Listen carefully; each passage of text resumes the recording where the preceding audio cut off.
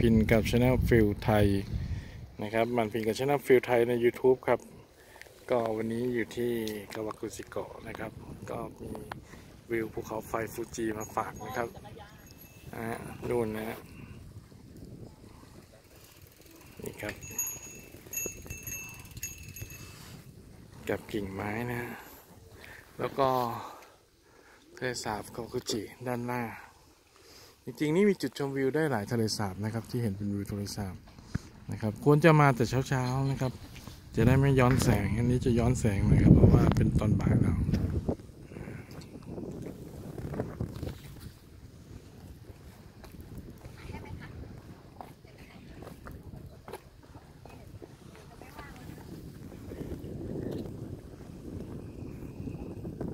ครับก็วิวคลาสสิกนะฮะ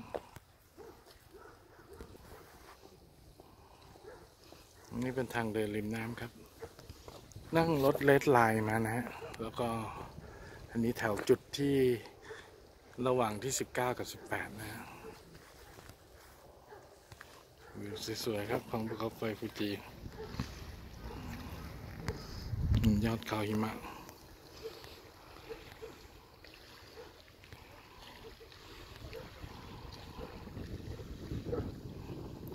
แล้วพบกันใหม่ครับกับช anel ฟิลไทยใน YouTube ครับ FBL THI ครับ เก็บเรื่องราวกันในทางมาฝากกันครับผม จากญี่ปุ่น